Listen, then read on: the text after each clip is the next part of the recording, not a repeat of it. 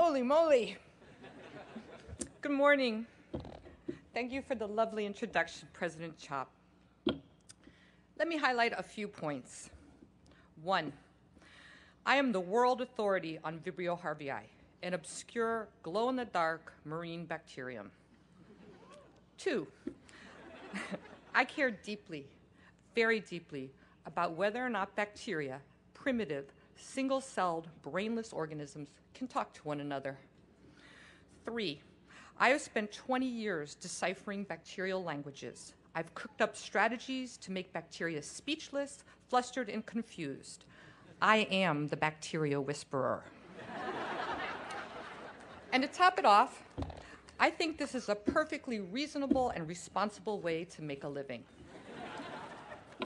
My lab wants to understand how bacteria communicate with one another, to invent strategies to interfere with their communications, and to use that knowledge to make new antibiotics. Our hope is to save millions of people from dying each year from infectious diseases. The clinical use of antibiotics began 60 years ago. Our well being and our life expectancy improved dramatically. The world thought the bacterial problem was solved.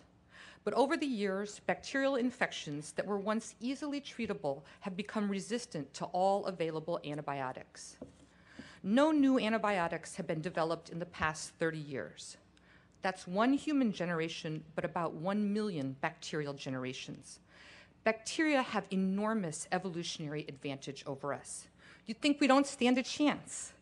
Nonetheless, I am completely optimistic. Why? Because my lab and others have brought a new way of thinking to the problem. Rather than killing the bacteria in an infection, we are knocking out their lines of communication, their command and control. If the bacteria can't talk to one another, they can't coordinate their attack, and the body's defenses can win. And this strategy is working.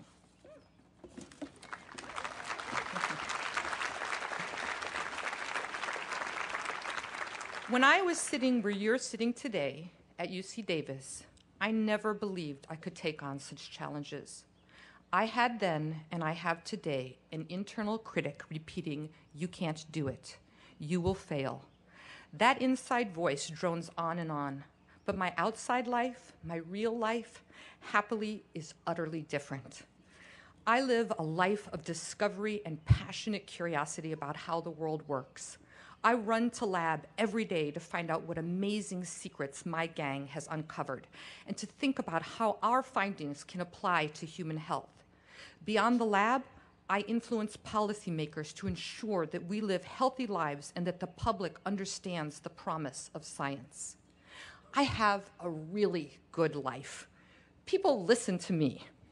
Somehow, that surprises me because I still struggle with the feeling that I just don't measure up. Early on, I had mentors who encouraged me. Although I didn't believe in myself, I thought, well, heck, they believe in me, so maybe this will turn out okay. Now I trust the young scientists in my group. So again, I figure this is going to work out. On the national stage, my heroes are now my colleagues, and I think, okay, they want me here. In the end, the people surrounding me and the worthiness of the, the worthiness of the causes we pursue keep me from backing down.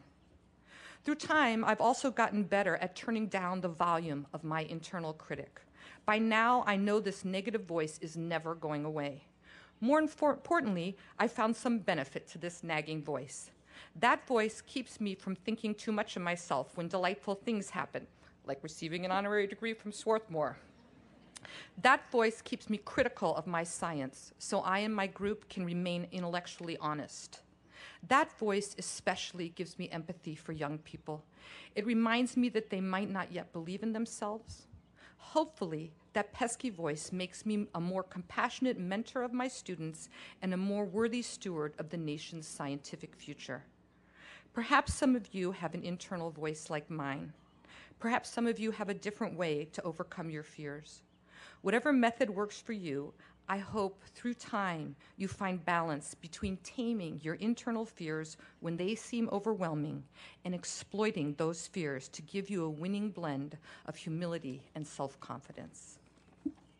Thank you for allowing me to be part of your celebration. A huge and heartfelt congratulations.